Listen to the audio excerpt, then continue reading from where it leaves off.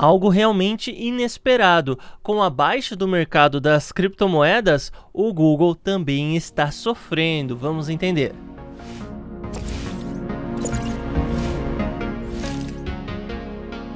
E aí pessoal, aqui é o Marcos Eduardo, sejam bem-vindos ao canal Dinheiro Cripto. Então se você se interessa por finanças e criptomoedas desde já, eu te convido a se inscrever nesse canal e ativar o sino das notificações para ficar sempre por dentro de tudo o que acontece. E deixa um like nesse vídeo também para você dizer para essa plataforma que o que a gente está fazendo aqui é algo relevante. E pessoal, fazendo cadastro na Binance pelo nosso link, nessa que é a maior corretora de criptomoedas do mundo, você vai ter, como pode verificar aqui, um total de 15% de desconto em todas as taxas de trade trade, verifique se o nosso código entrou aí. E eles ainda estão com uma promoção que vão te pagar 5 dólares só pelo fato de você fazer o seu cadastro, ou seja, dá mais aí de 25 reais que eles te pagam. Então você faz o seu cadastro, é, faz a verificação de documentos, tá? Isso em até 7 dias, e dentro desse período de até 7 dias, você pode vir aqui e resgatar o seu voucher de 5 dólares. É na parte superior direita em centro de recompensas e do mesmo jeito que eu tenho esse voucher aqui, na verdade esse daqui, esse voucher que eu tô é um de teste que não tem nada a ver com essa promoção, tá? Mas aqui vai aparecer um voucher aí exatamente 5 dólares para você. Isso vale para os 100 primeiros ou até a data de cadastro de 1 de dezembro de é, 2022. Bem, então o último trimestre comercial da empresa controladora do Google, Alphabet, destacou a diminuição dos gastos com publicidade em buscas de serviços financeiros e subcategorias como, por exemplo, criptomoedas. Isso saiu no relatório de ganhos para o terceiro trimestre desse ano e contabilizando um aumento de 6% na receita em comparação ao trimestre trimestre do ano passado. E de um trimestre para o outro, houve um aumento de lucro que foi de 69,1 bilhões para 69,7 bilhões. E, em particular, o diretor de negócios do Google, o Philip Schindler, observou abalos nos setores financeiros e de criptomoedas com quedas notáveis nos gastos de publicidade, isso quando se compara trimestre a trimestre. Bem, pessoal, é interessante a gente ver esses dados aqui do Google, isso por porque a gente começa a perceber que o problema das criptomoedas não é oriundo apenas do nicho criptomoeda, é oriundo das finanças. Então, o mundo inteiro está em crise. Nós estamos com diversas incertezas políticas que permeiam vários países, várias nações. Nós temos é, um mar de notícias falsas inundando uh, o, o nosso dia a todos os momentos e temos, por consequência, uma insegurança. Insegurança gera oscilação, gera. É, queda do mercado financeiro como um todo. Daí você pega ativos de alta volatilidade como as criptomoedas. Poxa, é alta volatilidade, está diante de uma queda, cai com cai respondendo a uma alta volatilidade.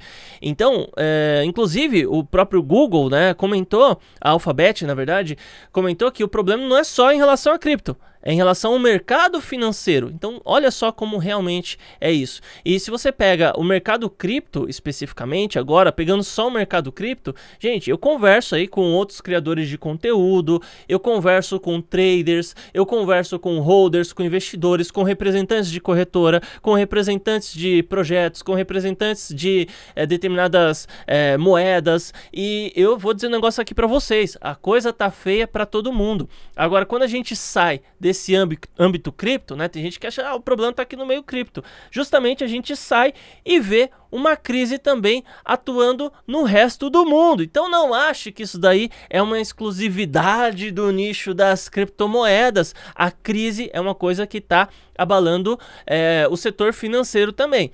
E é aquele negócio, né? O setor financeiro é o epicentro de tudo. Porque se as finanças não estão bem, Daí você começa a ver pessoas que estão cortando alguns gastos. Então o cara, né, a família, enfim, tinha um determinado gasto com entretenimento, né? Eles iam ao cinema todo toda todo domingo, toda todo sábado, toda sexta, enfim, e uma vez por semana.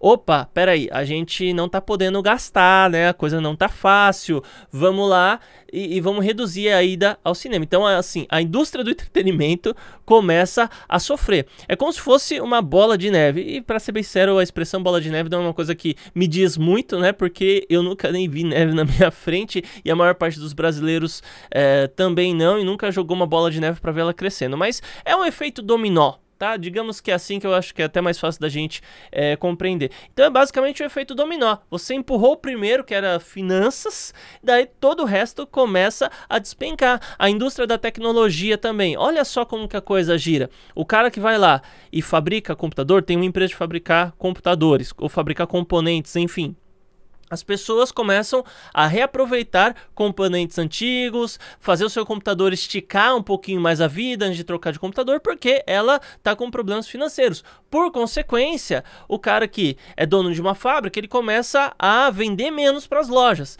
Então, se ele vai fabricar menos, se ele vai criar menos componentes, por consequência, ele vai mandar alguns funcionários embora. Então, temos aí um grupo de desempregados. E daí, a loja que compra esses computadores para revender para o consumidor final, está vendendo menos também. Opa, vamos mandar embora aí uns vendedores. E o que, que essa galera vai fazer? É simplesmente uma crise cíclica que a gente não consegue ver o fim. Então não adianta você achar que ah, candidato A venceu, candidato B venceu, vai resolver tudo. Isso daí hum, é uma tremenda bobeira, sabe? Ah, se o Bitcoin subir, vai resolver tudo. Cara, para com isso. Isso daí não é verdade. Ah, mas se a gente resolver o problema totalmente do Coringa 18, se, se aplicar a injeção em todo mundo, ou se usar um determinado remédio, se fizer.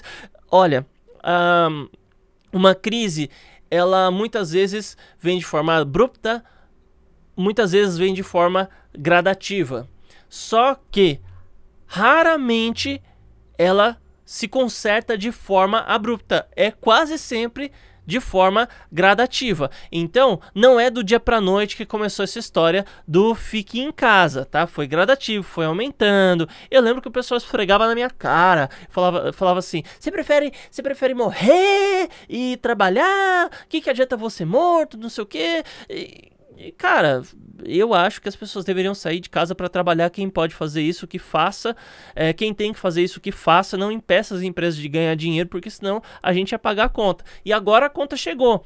Agora, sabe aquela história? Ah, depois a gente vê economia. Beleza, estamos no depois a gente vê. E como que a gente vê? Simplesmente não tem solução. É cortar gastos e gradualmente agir de uma forma mais sensata possível para que haja uma recuperação de todo um contexto. Mas aí, o que você achou a respeito? Coloca nos comentários. Muito obrigado por ter assistido e até mais.